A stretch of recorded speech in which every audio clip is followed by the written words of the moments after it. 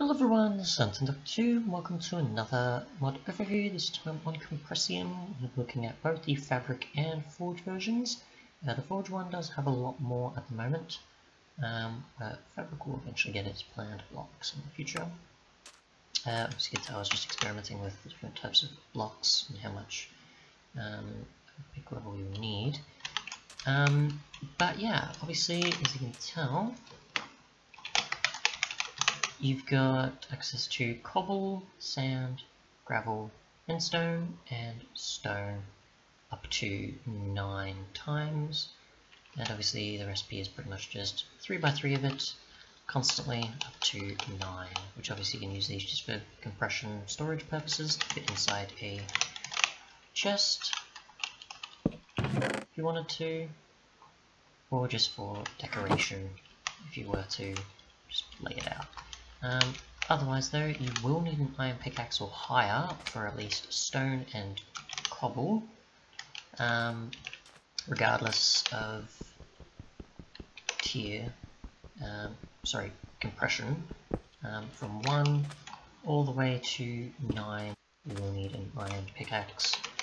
To break these, if you can kind of see the breaking texture there, obviously got the there. So iron pickaxe or higher is needed to break these. Uh, other than that, when it comes to sand and gravel, you can still break it with your fist. You don't need a shovel to pick them up, which is nice. Obviously, as you can tell, the endstone does have a work in progress texture, or temporary one, so it should be the same entire time, but at the moment it is in the current fabric version. Um, otherwise though, we'll just check the Forge one real quick, and I'll also check for beacon support in that one due to the um, additional blocks that I can use for it. Obviously with the Forge edition, you have the Forge version, sorry, um, you have access to pretty much the same, except for the additional um, uh, mineable blocks or ores, I guess. Um, and you can see each one here from the regular to the compressed, like so.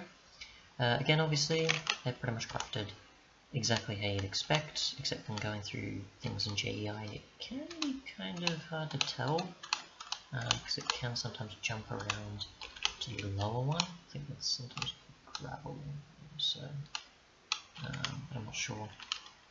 Uh, otherwise, though, again, we'll demonstrate with blocks for beacons, for four of these.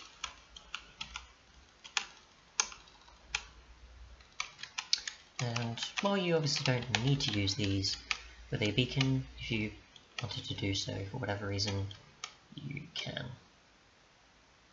There you go. Uh, otherwise though, that's pretty much it. Uh, we'll actually try a pick on other materials because you never know um, what may be able to break each of these without finding out. So let's go to survival here and we'll set time to pay some mobs to attack us. So uh, we'll go from this end, so it seems to be that you can still break that normally, you can still break that back. We go up a bit, I'm assuming it's seems to be you can break it. No? Okay, so you can, okay. It's not like the fabric version, you can't, unless that was obviously just tweaked, and probably will apply to the fabric version eventually. Um, to be the same as the forge one. So we just happen to get up here. Um, same for iron onwards it seems as you technically need the higher to pick to break the regular storage blocks, but it seems to just be that you can just break these easily with a wooden pick or higher. Um, so you just can't break it normally, obviously. Uh, but it's a lot faster if you haven't used the other so good difference there if you're uh, looking between the two. Um, but yeah, or what could eventually happen in Fabric's version, I guess. Thanks so much for watching, and goodbye.